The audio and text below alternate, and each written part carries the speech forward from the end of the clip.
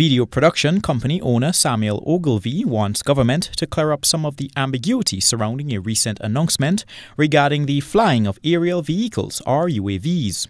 Government on Tuesday warned drone users that they must first obtain permission from the police. Trade Minister Oliver Joseph said at present Grenada has no policy with regards to the operation of drones and, as a temporary measure, will be collaborating with the Antigua based Eastern Caribbean Civil Aviation Authority to develop a policy. He said, in the absence of an official policy, the police will decide who receives permission for the use of drones. There is no policy in place yet, so we have to develop the policy.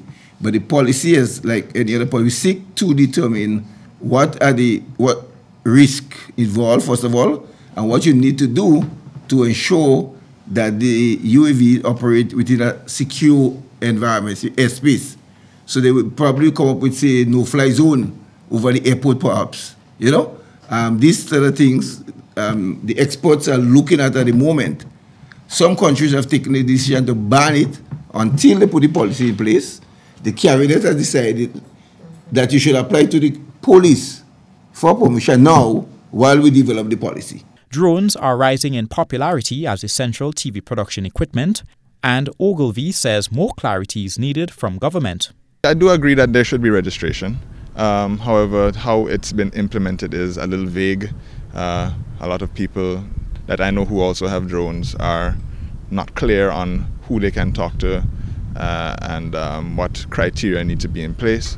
So I think that it could definitely be uh, before that announcement happened that they could have had everything clarified and in place so that there's no uh, ambiguity as to what should happen.